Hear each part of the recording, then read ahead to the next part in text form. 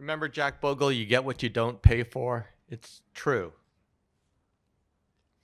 So I want to convince you of two things get real and arithmetic still works.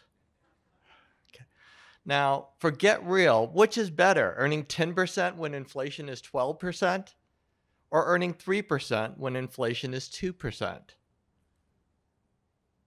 Which do you think makes people happier? We like to see the balance go up even if the spending power is going down. Okay. So, stocks this is all speculative, but stocks may have a real inflation adjusted return of, let's say, 5% annually. High quality bonds, maybe 1%.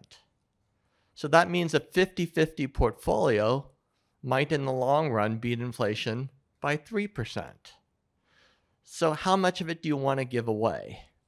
Now, I ran something by Mike Piper on a spreadsheet last night, but I should have run this by 3 minus 2 does equal 1, right? Yep, Mike, Mike agrees. He's nodding. So, the most brilliant paper you'll ever read is three pages and incredibly simple by Nobel laureate William Sharpe, Arithmetic of Active Management.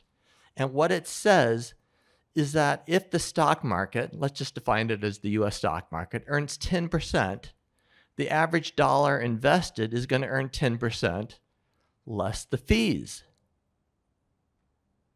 And by the way, that's over any period of time, year to date, 20 years, etc. And Rick is right. Over the long period of time, the total stock funds do better and better and better. So, the doctor analogy the first time I met Gus Sauter, who was the chief uh, investment officer of Vanguard and was um, launched the uh, Vanguard Total Stock Index Fund, he gave me this analogy. If you needed heart surgery, would you find the cheapest heart surgeon or the best? What's wrong with this analogy? And, and by the way, he gave me this analogy as what other active managers were using. Okay. Yeah. my doctor wouldn't have to make somebody else die in order to make me live. The stock market is a zero sum game. We do not live in Lake Wobegon, where 90% of us are above average. So, how much do you want to give up between fees, the expense ratio, hidden fees, bid ask, market impact, hedging, etc., uh, advisor fees, my hourly uh, rate is, is a drag on uh, returns. Emotions, taxes, and remember, tax are char- taxes are charged on nominal basis, not uh, inflation based. Okay. So I showed you this slide earlier, and again, it's incredibly important. The costs of emotions, those are very, very large, 1.7%. So if you think about it, if a 50 50 portfolio might earn 3% above inflation, if we pay 1% in fees to the fund managers, our financial planner, investment advisor, et cetera, we give up another 1.7% in emotions, and the government taxes us. That, that tax number is much lower because the active fund is going to have lower returns and uh, be a little bit more tax efficient from that standpoint, which is not a good thing. So, you know, maybe the average investor loses 7% of 0.7% of spending power. This is illustrative. So, the Vanguard Total Stock Index Fund. Uh, Christine showed this slide. Boy, I'm really glad that we both came out with 4,052 holdings. Whew. Okay. An expense ratio of 0.03% plus Vanguard returns all the profits from securities lending. So the net cost is even less than that. The total capital gain distributions of the last 10 years is zero. And by the way, a lot of active fund manage, a lot of active fund holders are going to get 1099s this year when their value has gone down because they've sold stocks within the portfolio. So mathematically, the average dollar invested in US stocks over any period of time um, must be higher for Vanguard total stock than active funds, right? this next slide from a research company, I shouldn't have used their name.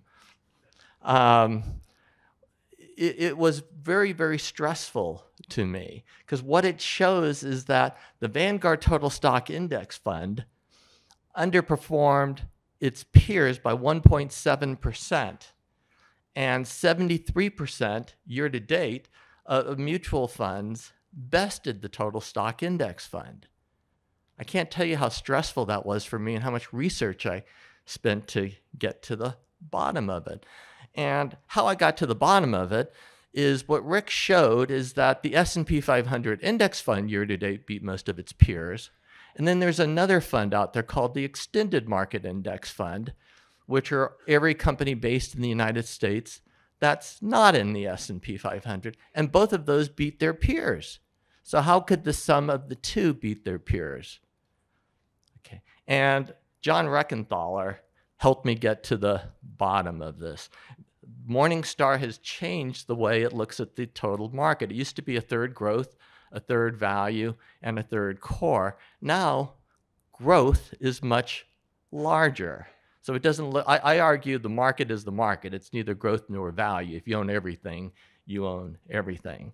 So John Rekenthaler is just absolutely brilliant, and you really know uh, somebody who's good when you disagree with them and they get to the bottom of things. So, as he puts it, owning a low cost, market cap weighted index fund is both psychologically and mathematically superior. So, we hate to lose money. I've lost money this year, but I know that I've lost less money in the US market than most other people. So, the most important sentence I've ever written on investing is minimize expenses and emotions maximize diversification and discipline. It's that simple. So, conclusion you can have a bad low cost portfolio, but you can't have a good high cost portfolio. I could have had everything in a low cost Russian index fund, and that wouldn't have worked out all that well. Not very diversified. So, John Bogle gave us access to low cost and high diversification. It's up to us to manage discipline and emotions.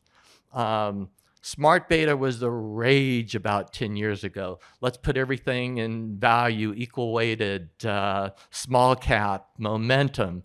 And that's active investing. I embrace dumb beta, um, which Christine was nice enough to interview me on the long view and appropriately titled Why I Embrace Dumb Beta. So understand what Jack Bogle meant by the tyranny of compounding of, of costs on our financial freedom. Costs must be low, diversification high.